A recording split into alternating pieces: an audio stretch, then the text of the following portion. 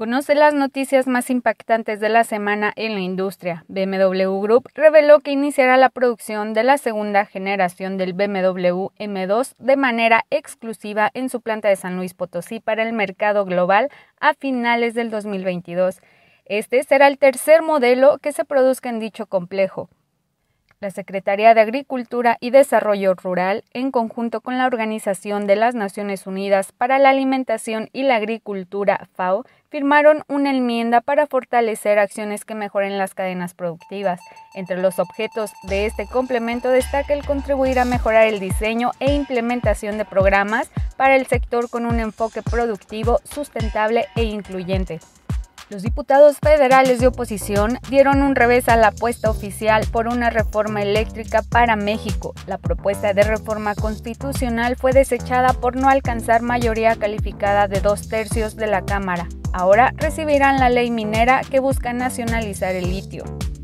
LG Magna y Powertrain celebró la inauguración de su nueva planta en Ramos Arizpe, Coahuila. La nueva planta producirá componentes del tren motriz eléctrico para General Motors a partir del 2023, creando aproximadamente 400 nuevos puestos de trabajo.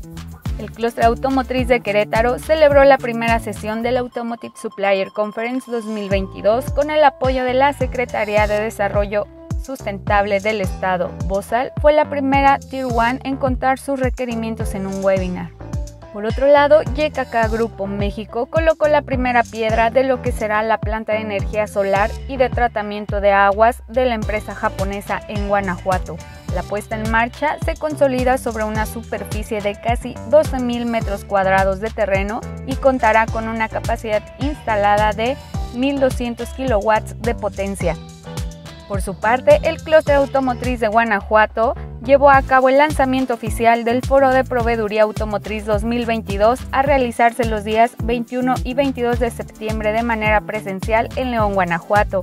Además, de manera paralela, también realizó el Business Networking Clauto en el Parque Bicentenario. Autoridades del Estado de México anunciaron los proyectos de inversión y reinversión de 12 parques industriales del CONCAEM, que generarán casi 30.000 nuevos empleos en el Estado de México en los próximos 18 meses. Si deseas saber más sobre estas y otras noticias, síguenos en redes sociales como Clúster Industrial.